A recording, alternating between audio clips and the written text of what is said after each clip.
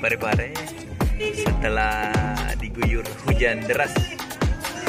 Uh, sampah berhamburan naik ke jalan raya. Ayolah warga Parepare taat buang sampah pada tempatnya. Ya jadi begini jalan jalan raya penuhi sampah. Entah ini penyebabnya dari mana yang jelasnya sampahnya bukan dari langit.